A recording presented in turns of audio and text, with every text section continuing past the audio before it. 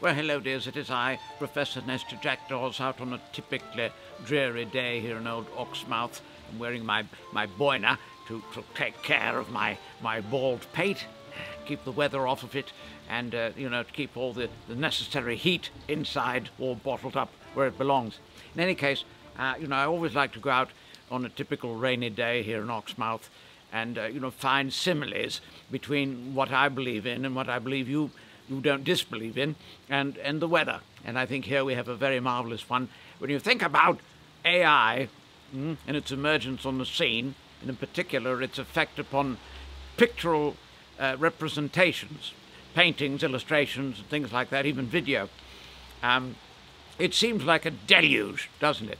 It seems like a, you know, an overpowering force of nature, which in a way it is, a very roundabout way, force of nature, a force of mankind, uh, influencing itself in a massive tidal wave of effects. And one could think, well, you know, why even bother to produce my own artwork? Or, or, you know, offer up my own uh, expression or point of view upon anything because there is this deluge. It's like, a, you know, shouting against a hurricane.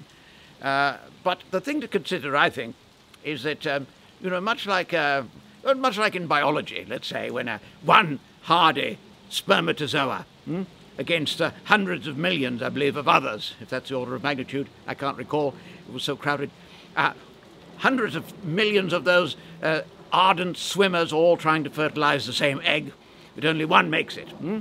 And that one is, of course, the winner, who turns out to be you or me. In any case, it, it's sort of like that with the rain, you see. Uh, uh, uh, and the rain drops. Uh, which one will hit you on the edge of the nose, or which one will, you know, land right in the middle of your glasses so that you, you can't quite see uh, very effectively?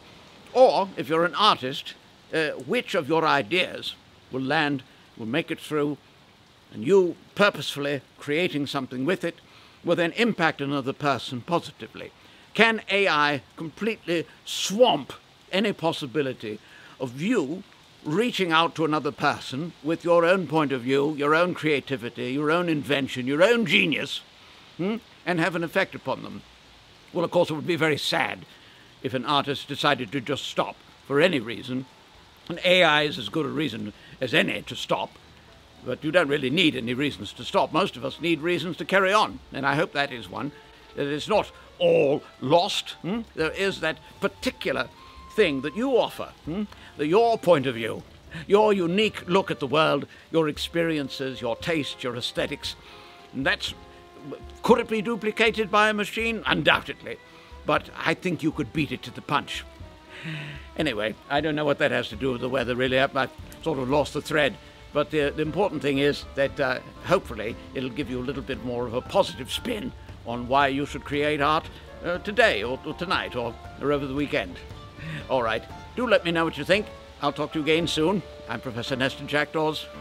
Ta-ta.